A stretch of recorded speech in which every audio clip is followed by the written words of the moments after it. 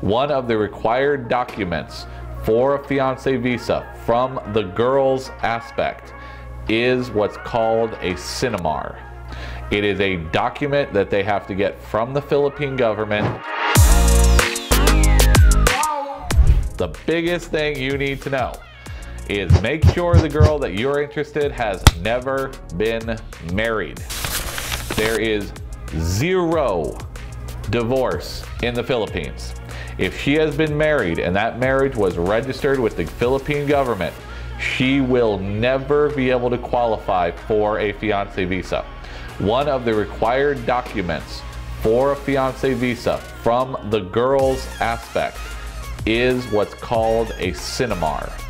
It is a document that they have to get from the Philippine government certifying that they have never been married because there is zero marriage, uh, divorce in the Philippines. It does not exist legally in the Philippines in any way, shape, or form. Annulments are possible, they're very expensive, and they're not a guarantee.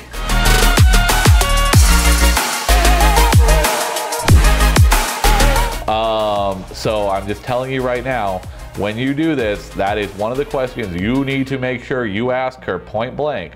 Have you ever been married? Because if she has been, she will not qualify for a uh, fiance visa. That is the only caveat in the Philippines for the fiance visa process.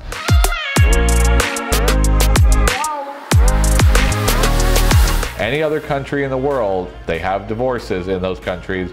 If she's been divorced, it's just like when you do this, you'll have to provide a copy of your divorce decree from the, the state you were divorced in. You just get your copy, a certified copy from the state, um, and you submit it with your paperwork. Um, any other country in the world, if the girl had been divorced, they do the same thing that we do here. But in the Philippines, they do not have the concept of divorce legally in their government. So it is not something that these women are able to do. So if she has been married, she does not qualify for a fiance visa. It is one of the only annoying things about the Philippine government is this one point. Oh, that and everything costs you money with the Philippine government. Nothing they do there is, you know, just done for you. Got to pay for everything with the government there.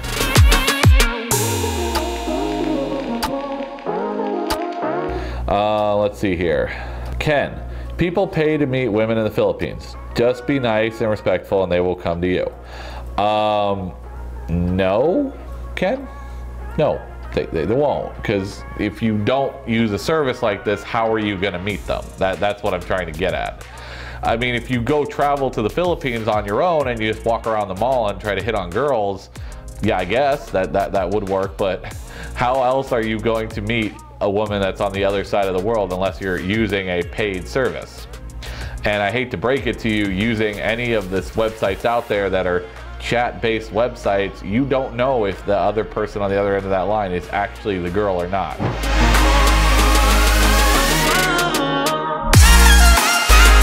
We don't actually want you to write any letters. We just want you to go on a tour and meet girls in person. Like these pretty girls right here on the screen that you're looking at while I'm talking right now.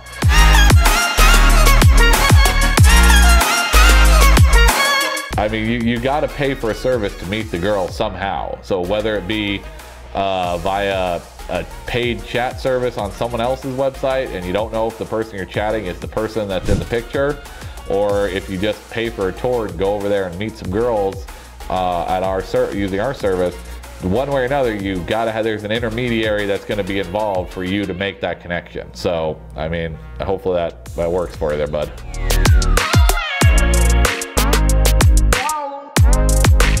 Are you tired of the same old dating sites?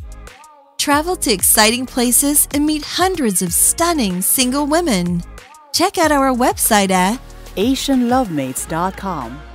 If you enjoyed this video, be sure to give us a thumbs up and subscribe to our channel.